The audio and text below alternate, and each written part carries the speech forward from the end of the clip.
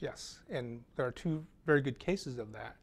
In 2009, um, there was an influenza H1N1 that popped up, and when people sequenced it almost within a month, we knew exactly what it was, and they were able to start production on a vaccine against it.